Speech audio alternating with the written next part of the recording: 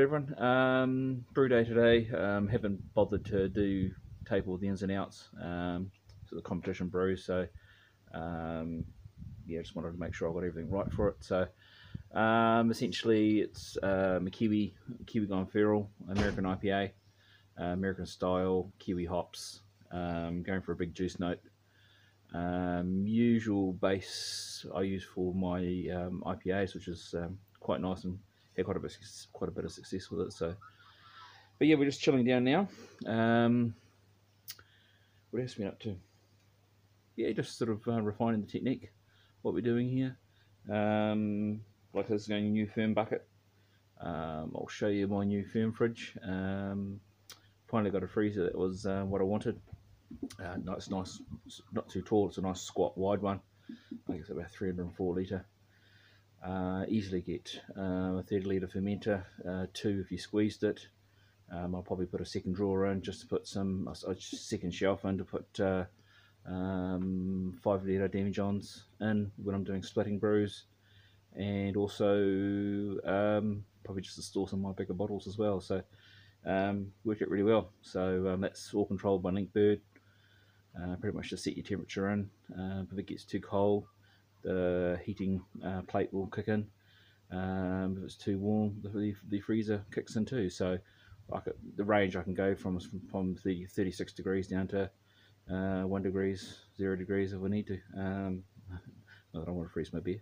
Um, but yeah, it uh, gives me more options and more control too. So um, looking forward to that on this one. So going to get this one down and then I'm going to do my um, tight head. There we go, swap. I'm to um, do my uh, of the Dead brew after that um, for the uh, competition. Uh, a few more tweaks to that brew, uh, which I'm really happy with. And uh, yeah, so some of this will go into bottles, rest will go to the kegs. Uh, all my kegs at the moment are empty. Um, and been busily filling bottles the last two brews. So at the moment I'm on a weight loss hit, so I'm having to lose weight and not drink as much beer. Um, so I'm only limiting myself to two beers a week. God, that's hard.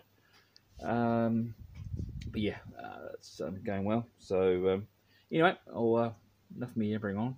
Uh, short and sweet video this one. Um, I'll just take some footage of the uh, ferm fridge so you can see that, and that'll be it from me.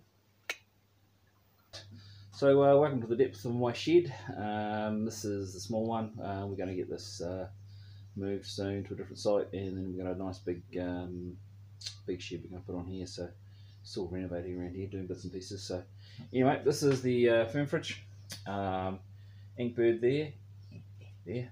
Um, and I've had that pretty much set at 18 degrees. Um, I've had a test fermenter in there with a bit of water, making sure it kept it at the right temperature. Um, and yeah, the Inkbird's very good. Uh, shout out to Kevin McCormick uh, on Trade Me for New Zealand guys. If you go on there, Macwood, um, he sells. This is a basic one, and then he's got a uh, another one which is about 100 and uh, something dollars, um, but that's a fully programmable. I think you can. It's got five or six different uh, settings over different times that you set. Um, but I just wanted to go. Because I think this one was a good price, and, and it was uh, basic and simple is what I want. So. So here we got here. Um, I've put a, a fermenter in there two or three days ago, um, just to test it out. Uh, that sits on a mangrove jack um, heat pad on a bit of plywood, um, and underneath out the drip tray drip hole. It's a draining hole at the back. I've got the um, power going out and the temperature probe coming in. Now, if you undo the drip tray in behind, um, just unscrew it. Um, it's quite easy to get your probes in and out, and you can actually put that drip tray back in afterwards. Stops any moisture from coming on top of your motor. Now, um, on the outside here, what I ended up having to do is um, for this one here, buy a plug, um, and I've, I've wired that into the heating part. See the cooler just come on. Um, it, hit 19, it hit 19 degrees. Focus on there. There we go. It hit 19 degrees, so now the um, cooling has come on. I've got a one temperature differential, so if I set it at 18, um, will come on at 19, and the heat pad will come on at 17. So it's uh, nice and easy. so yeah, that's all for me. Uh, not too complicated this time around. Uh, but yeah, we um, just trying to get some IPAs on and fill my kegs up. Um, so I'll do some nice slush IPAs and uh, get some parcels sent out to people. So uh, you know, that's all for me. Onwards and upwards. Have a good one, guys.